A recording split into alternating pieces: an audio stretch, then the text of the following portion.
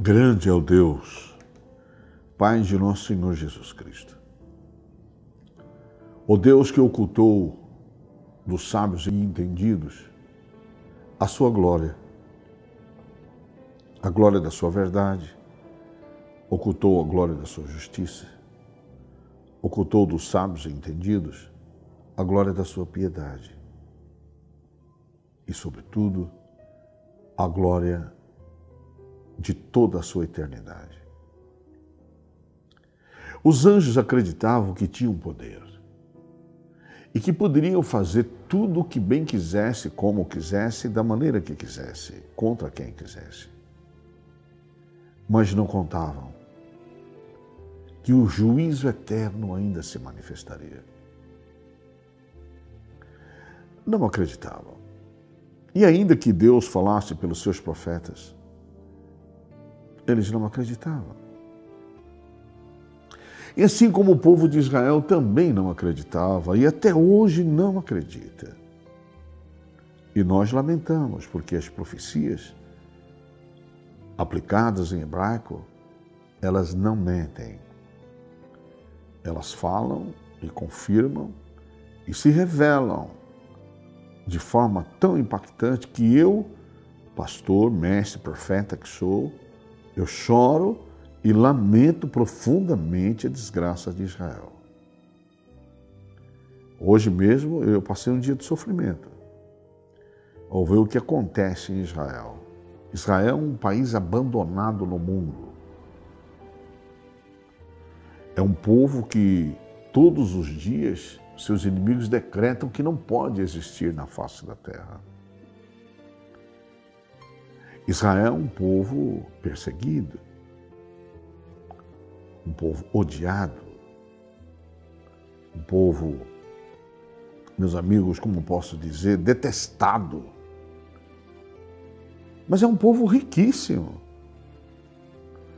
E a riqueza de Israel é para sua própria desgraça e maldição. Ninguém sabe o que, como e por que isso acontece. Eu sei.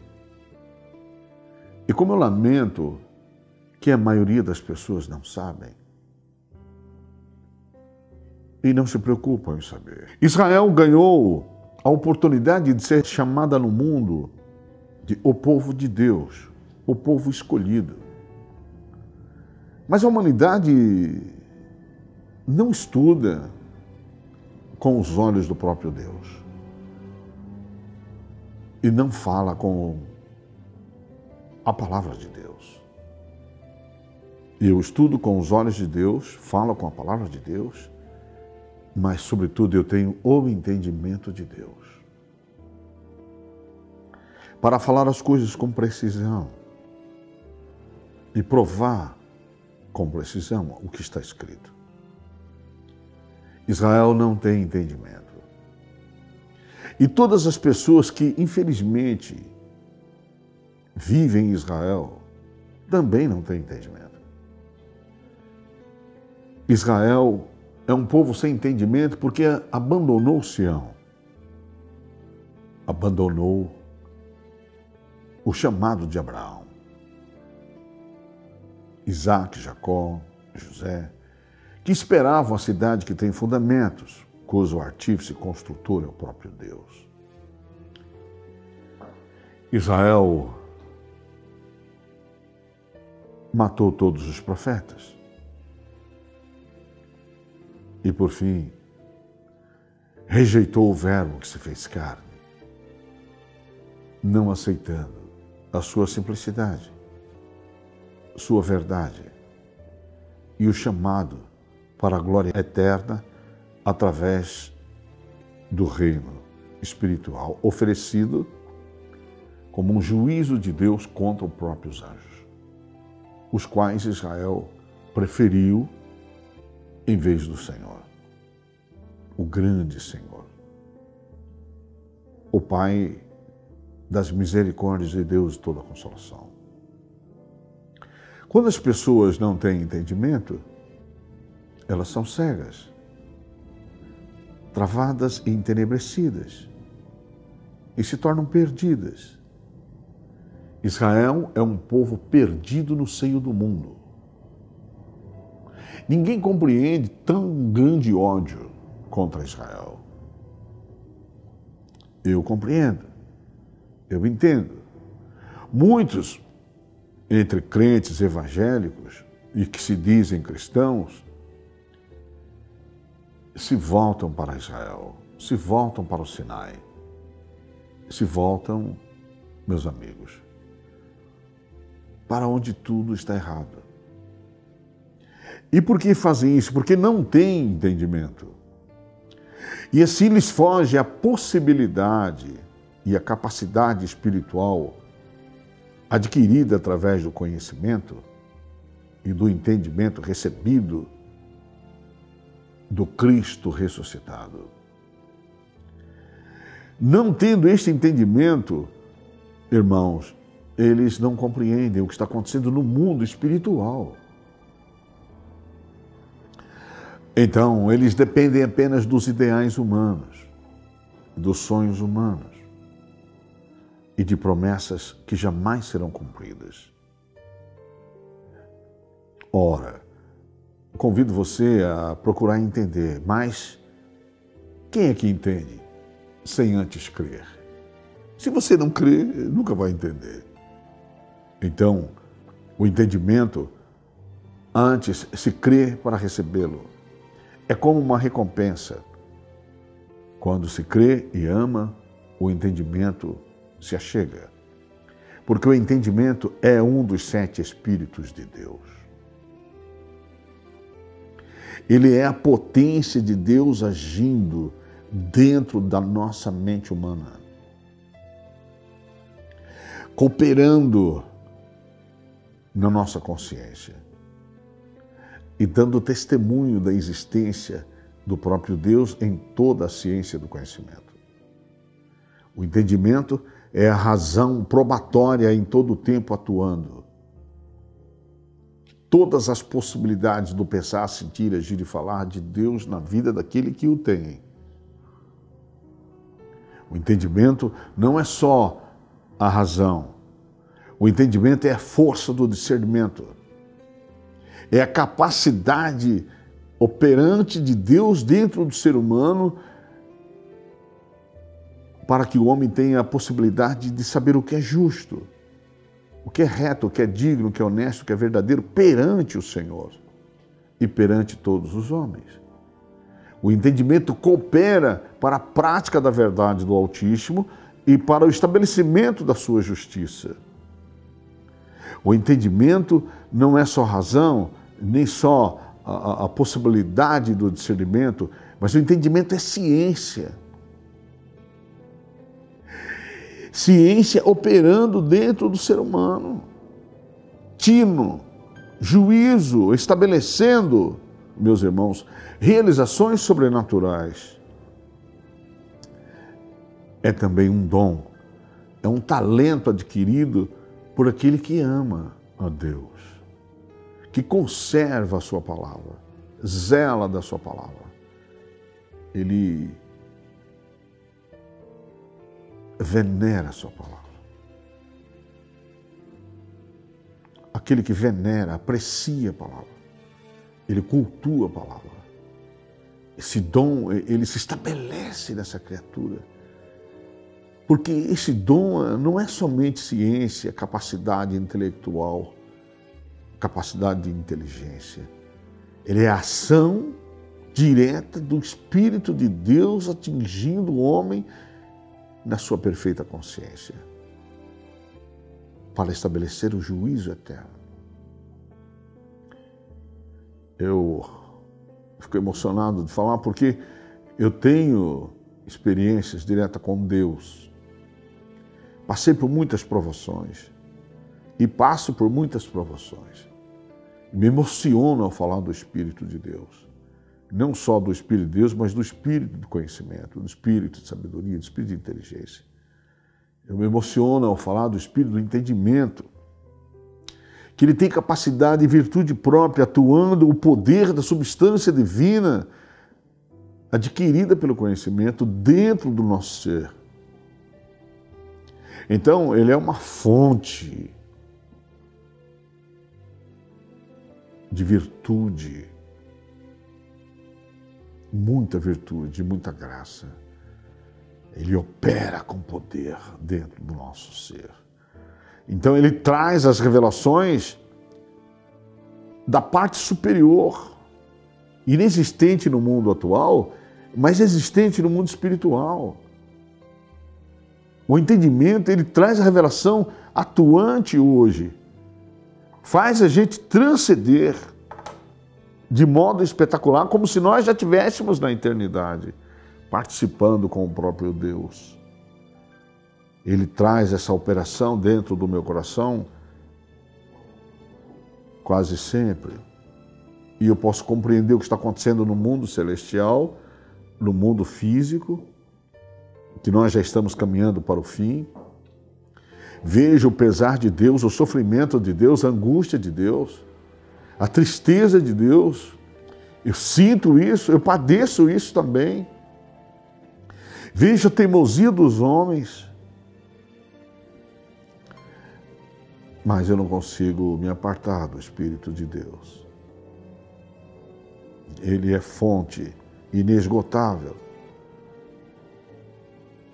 Sabe, meus irmãos, é, é um poder que eu não quero perder nunca mais. Poder saber o que acontece aqui, o que acontece no Japão, na China, na Rússia, poder saber o que acontece em todos os países do mundo, como é que está a cabeça dos homens, por que, que eles são assim, por que, que eles são assados. Eu compreendo tudo que está acontecendo com Israel e como vai acontecer daqui para frente. Eu aviso o nosso povo, está acontecendo assim, assado, nós temos que estar firmes, não podemos mudar o nosso entendimento. E cada dia que passa, eu vejo Deus operar mais ainda essa grandeza. E ao mesmo tempo, eu vejo como se Deus chorasse, Jesus chorasse amargamente, o Espírito Santo chorasse amargamente, porque as pessoas não querem crer dessa maneira. Eu lamento, meus irmãos, é, profundamente. É, o entendimento, meus irmãos, é um poder adquirido. E Jesus veio nos dar gratuitamente esse poder adquirido. João disse, e sabemos que já o Filho de Deus é vindo e nos deu esse poder. Então, é, é, esse poder, meu irmão, eu sempre falei para os demais, é, é uma fonte de riqueza espetacular. É como um cheque assinado em branco e disse assim: Tora, hoje eu te dou. Você acredita no que eu te dou? Acredito. Está assinado. Quanto você quer? Ó, oh, Senhor, não tem limite. Eu quero tudo que o Senhor puder me dar. Mas eu não pedi ouro. Eu não pedi prata. Eu pedi entendimento. e levo você ao livro de Provérbios, que é o meu lamento da pregação de hoje, eu preciso me controlar aqui já. Se não controlar, as lágrimas vai descer. Porque eu prego isso há muitos anos. Enquanto os crentes falavam, meu Deus é o Deus do ouro e da prata, eu disse, não. O meu Deus não é o Deus do ouro e da prata. E fiz uma pregação, dá umas 10, 12 pregações, são mais de 25 anos. E eu disse, filho meu, verso 11, Provérbios 3, não rejeites a correção do Senhor. Você sabe o que significa isso? Todo mundo fala isso mas ninguém capacitado para revelar isso.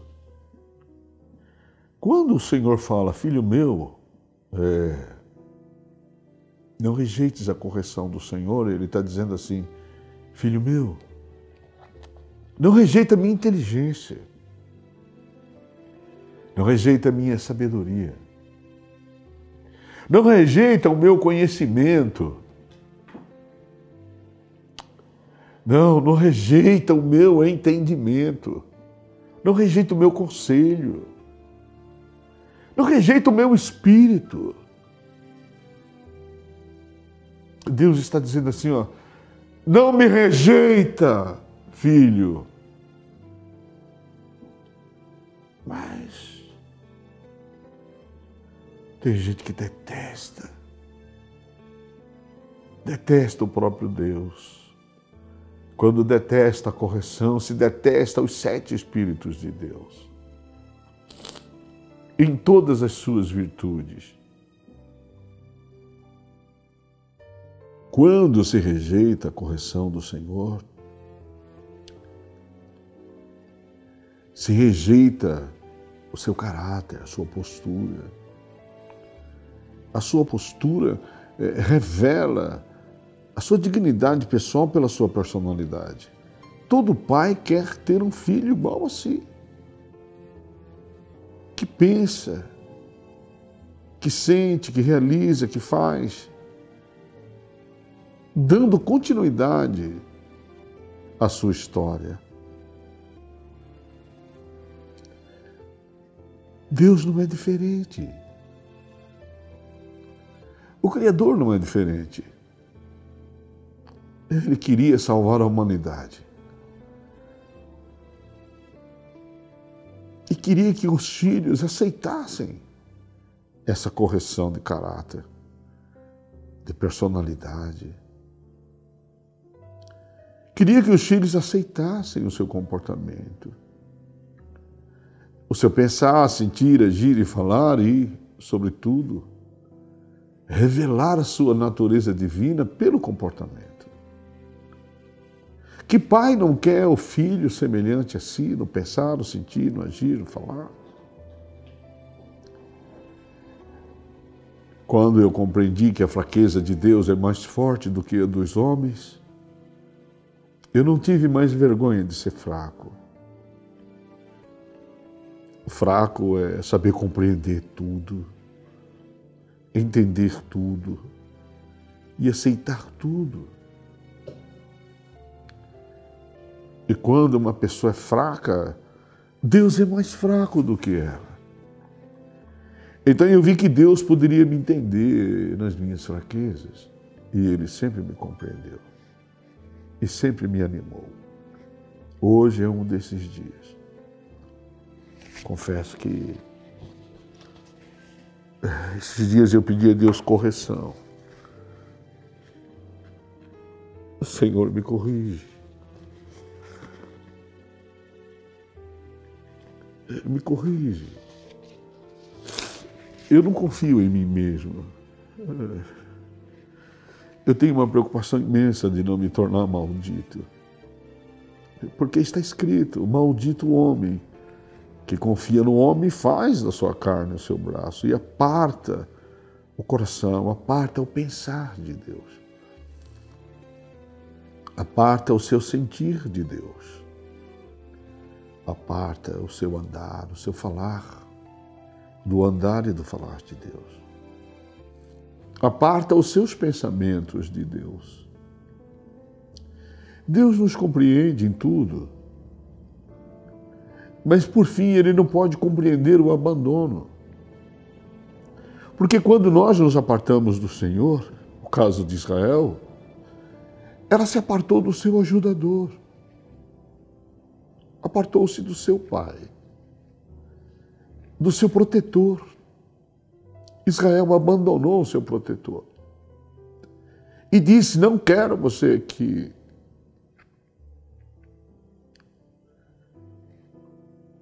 Oh, Israel rejeitou o próprio Deus.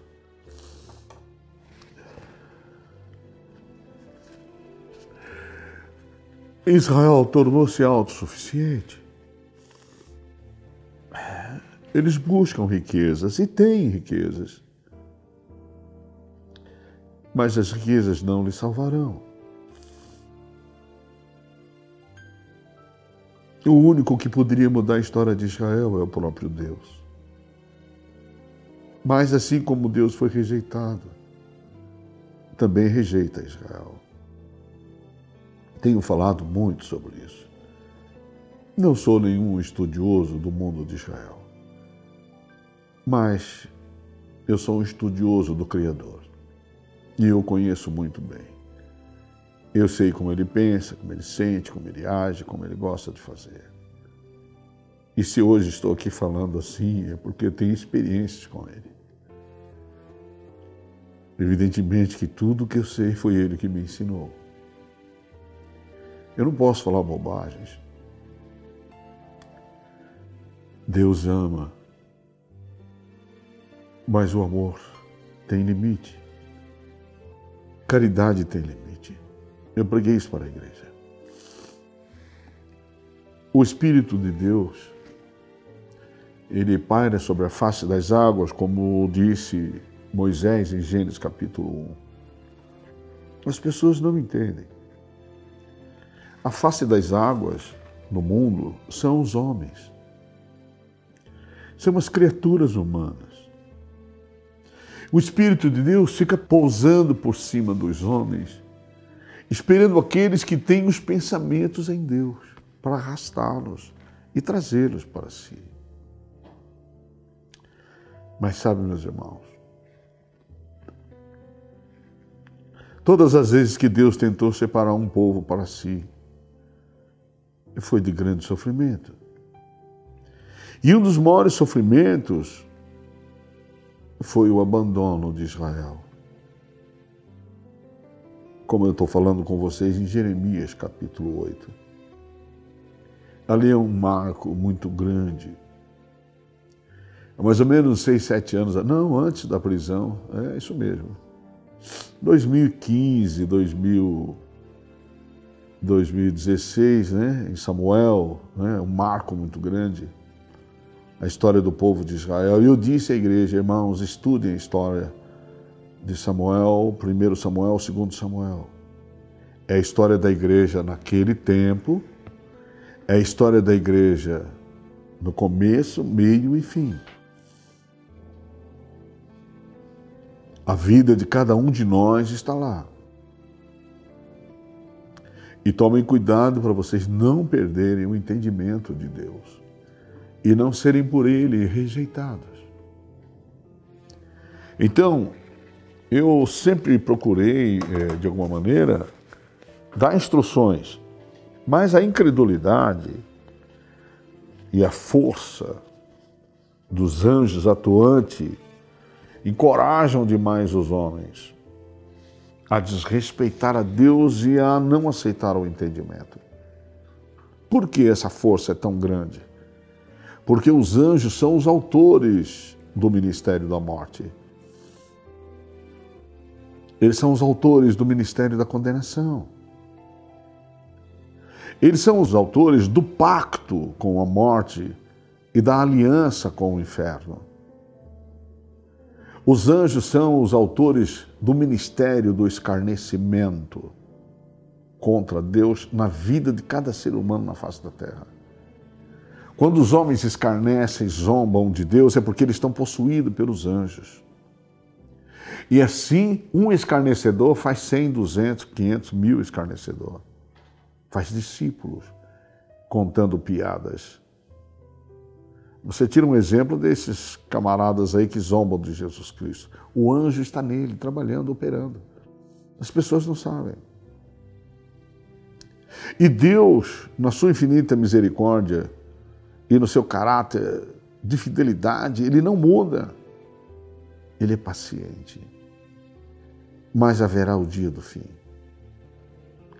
No dia do fim, escarnecedores, grandes e pequenos, sofrerão o eterno escárnio da sua própria desgraça, por terem desrespeitado o Pai das misericórdias.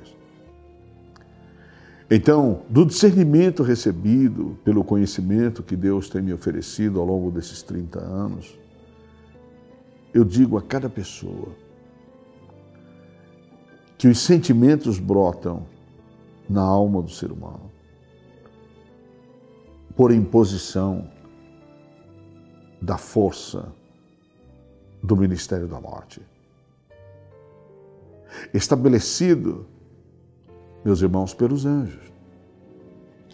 trazendo destruição à raça humana. O homem não sabe que é um ser morto. o ser humano não sabe que é um ser morto, porque ele, ele, ele, ele dorme, ele sonha, ele acorda, ele escova os dentes, toma banho, toma café, ele vai trabalhar, ele almoça, trabalha de novo, ele volta para casa, ele toma banho, ele janta, ele vai curtir, ele volta para dormir, e amanhece, e começa tudo de novo. Então, ele é um ser, na sua imaginação, vivo. Mas ele não sabe que é morto para Deus. E que essa morte foi estabelecida pelos anjos. Ele não sabe disso. Ele não tem entendimento. Isso está lá desde Gênesis. Agora, eles disseram, né? Agora o homem é como um de nós, morto.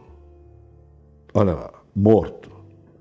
Pela desobediência, insubmissão, rebeldia, prevaricação, subversão dos valores. Morto na injustiça, na maldade, na perversidade. Agora o homem é como um de nós, derrotado, fracassado, sem esperança eterna. Mas o homem não sabe, ele não tem consciência porque ele não tem conhecimento. E se não tem conhecimento, ele nunca vai ter entendimento, nunca poderá discernir o destino da sua eternidade. Ele acredita desde já que ele já tem Deus. Mas ele não sabe quem é Deus. E que existe muitos deuses e muitos senhores, mas não sabe a quem está servindo. Ele não sabe quem é o Pai, não sabe quem é o Filho e a razão do Filho, e muito menos o Espírito do Pai e o Espírito do Filho. Puxa vida. Então o homem não sabe nada. Então ele não sabe o que vai acontecer na eternidade porque ele não tem entendimento. E o entendimento é a faculdade que capacita o homem a avaliar os pensamentos, avaliar as ideias, avaliar e conjecturar em si mesmo, meus irmãos, processando pensar, sentir e agir para poder falar conforme o que é justo conforme o que é reto, conforme o que é digno. Mas se ele não tem conhecimento de Deus, ele não sabe o que é reto, o que é digno, o que é honesto, o que é justo, o que é verdadeiro. Ele também não tem noção do que é mentira, o que é falso, o que é o engano, porque eles faltam entendimento. Então não tem capacidade para avaliar os valores em cada ser e em todas as coisas. Ele não sabe apreciar o mérito. Ele não tem em si mesmo condições nem morais, espirituais, profissionais, sociais, intelectuais. Isto é, ele não tem inteligência. Quando falamos em intelecto, nós falamos de inteligência. Falamos de entendimento. Veja, meus irmãos, fazer julgamento minucioso é necessário ter muito conhecimento. Mas além do conhecimento, é necessário ter entendimento. Se não há um perfeito entendimento, não há como discernir, fazer o juízo, meus irmãos, ter uma opinião perfeita, formada segundo a realidade dos fatos terrenos e dos fatos espirituais dos fatos passados, presentes e futuros. Eu falo muito do passado, apresento este presente dramático e lhes dou o futuro. E quero fazer isso nesse encerramento de 1 Samuel, capítulo 8. Deixar claro para você que eu estou sofrendo bastante. Pelo passado, pelo presente e pelo futuro. Todo mundo acha que tem Deus, mas não sabe que o salário do pecado é a morte. E muitos até falam, o salário do pecado é a morte quando eles mesmos são desobedientes. soberbos, altivos, provocadores, escarnecedores. Inclusive, muitos que me conheceram pessoalmente até fizeram parte desta comunidade. Na sua soberba, na sua altivez, nunca quiseram ser corrigidos pelo próprio Deus. Mas acreditam em Deus e se dizem filhos, sem as qualidades dele, sem os seus valores, sem o seu entendimento. Mas por que isso, pastor? Porque existe um Deus nesse mundo que nós o chamamos de o Deus deste século, que cega o entendimento dos incrédulos. E o maior incrédulo não é o pagão. O maior incrédulo é aquele que não quer crer. Antes da conclusão final sobre esse desprezo de Israel pelo Criador e explicitar isto para o mundo, eu quero dizer para você que Israel rejeitou o entendimento, rejeitou os conselhos. Israel rejeitou os sete Espíritos de Deus. Então eu quero convidar você a, a meditação comigo. Para que serve o entendimento? Qual é a função do entendimento? É, o que eu tenho que fazer para ter o entendimento? Como eu já disse, a primeira coisa é crer. A segunda coisa é amar. Amar é apreciar, zelar do entendimento, cuidar dele, retê-lo com todas as suas forças para não perdê-lo. O entendimento é um dos sete espíritos operante da parte do Altíssimo. E assim, ele opera para que, depois de todo o conhecimento, possamos tê-lo em nossa vida, nos trazendo o discernimento para toda sorte de avaliação. Desde avaliar os pensamentos, aos sentimentos, a todas as ações, nós podemos, pelo entendimento, termos a capacidade de julgar, fazer o juízo correto, por entender todas as coisas e assim poder ajustá-las dentro dos padrões estabelecidos e dos propósitos, dos conceitos ideais combinados para o interesse do bem comum. O entendimento, meus irmãos, vem estabelecer a, a, a justa operação de cada parte.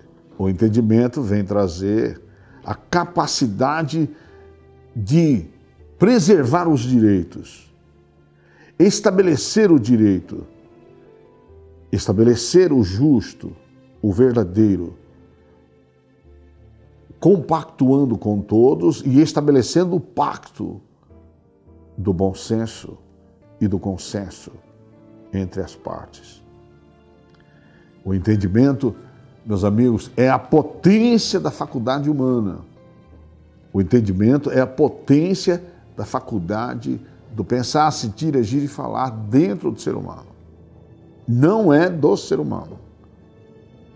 Se fosse do ser humano, o mundo não era essa desgraça que é. O entendimento, ele vem da parte do Altíssimo. Quando uma pessoa o tem, ela estabelece propósitos com o Altíssimo para a glória dele e estabelecer os seus propósitos entre os humanos que creem nele. Ah, mas os homens têm entendimento, não, os homens têm dons. Todo dom perfeito vem do alto, descendo do Pai das Luzes, onde não há sombra de dúvida nem variação. Deus dá dons aos homens, dependente dos homens crer nele ou não. Mas os homens se corrompem nos seus próprios dons. Que coisa tremenda. Mas se corrompem sozinhos, não. Os anjos corrompem os dons dos homens para que eles sejam injustos e perversos, para que sejam falsos e mentirosos, apesar de terem dons magníficos. A importância, meus amigos, de buscar o conhecimento, do espírito de entendimento, é porque ele é a potência soberana de Deus atuando dentro do ser humano, trazendo, olha só, trazendo pelo espírito de inteligência de Deus o entendimento do próprio Cristo, sua sabedoria. Olha que coisa tremenda, sua caridade, sua piedade O entendimento é exatamente para operar a grandeza de Deus. Senão você continua no velho entendimento. Falsidade, mentira, dissimulação, engano, inveja, ciúmes. É tudo velho entendimento. Uma coisa muito interessante é que nós temos dois entendimentos na Bíblia. Você sabia disso? Não. Nós temos dois entendimentos. Nós temos o entendimento do Pai, do Filho e do Espírito Santo e temos o entendimento do dragão e da serpente.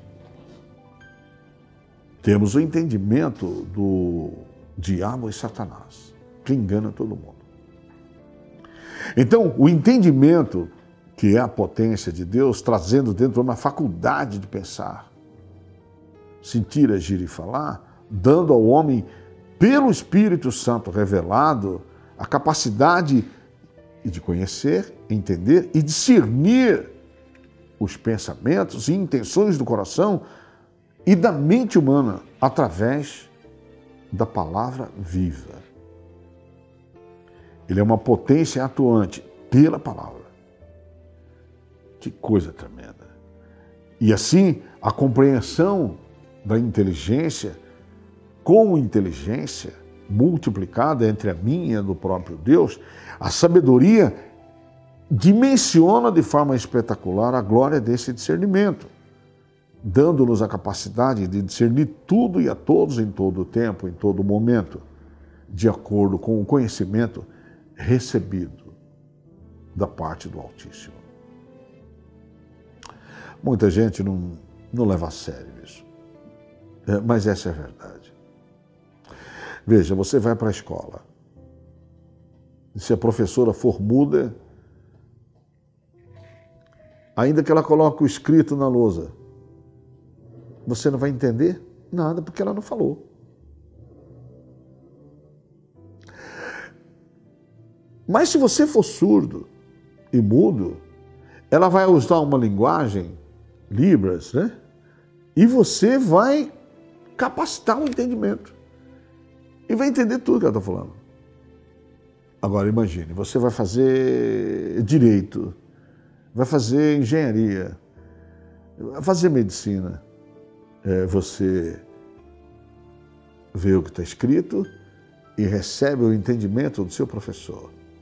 E busca lá no seu intelecto a capacidade de entender e discernir entre o certo e o errado.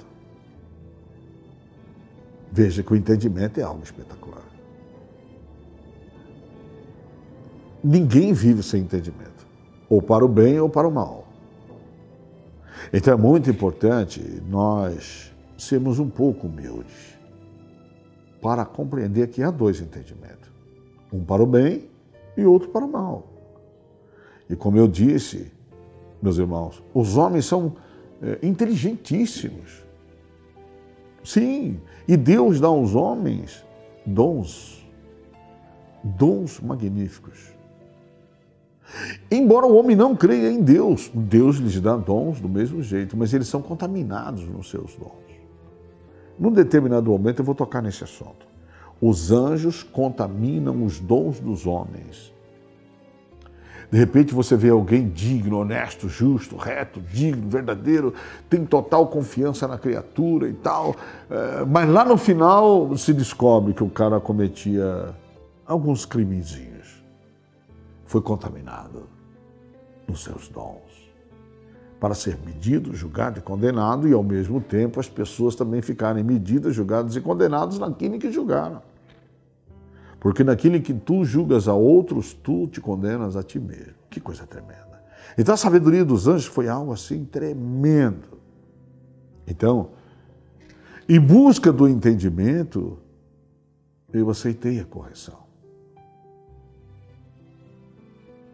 Em busca do entendimento, eu aceitei a correção.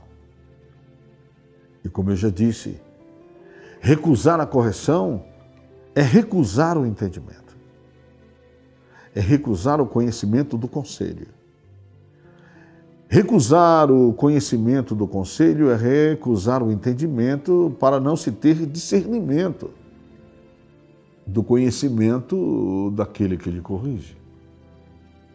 Então, como as pessoas não gostam de ser corrigidas, não gostam de ser disciplinadas, exortadas, admoestadas, elas têm em si mesmo uma soberba impressionante, que é o estado moral do homem que não se deixa ser corrigido, não se deixa ser abatido.